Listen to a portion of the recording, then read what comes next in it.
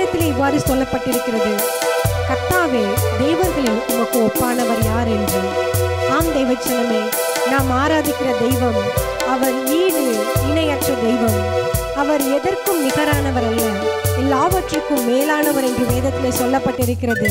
இந்த உலகத்தின் செல்வத்தை எதை நாம் கொடுத்தாலும் அல்லது இந்த உலகம் முழுவதையுமே கொடுத்தாலும் ஆண்டவருக்கு அது ஈடாகாது. ஏனென்றால் அவர் ஒப்பற்ற செல்வமாய் இருக்கிறார் அந்த ஒப்பற்ற செல்வம் நமக்குள்ளே வாசம் செய்து கொண்டிருக்கிறார். நான் அந்த தெய்வத்தை பாடி நாம் ஆராதிக்கலாம்.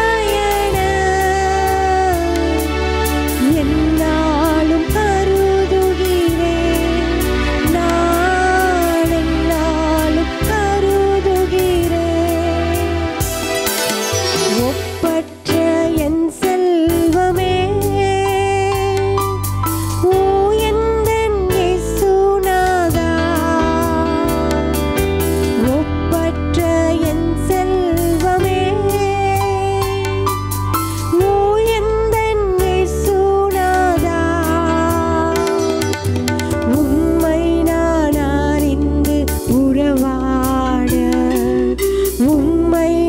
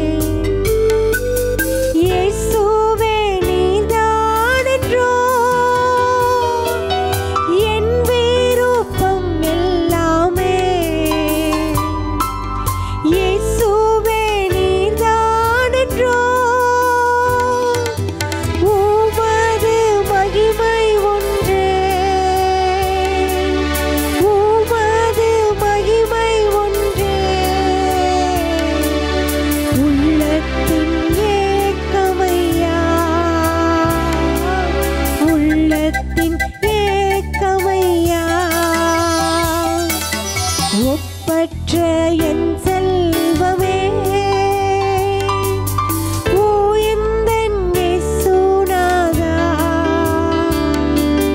ஒப்பற்ற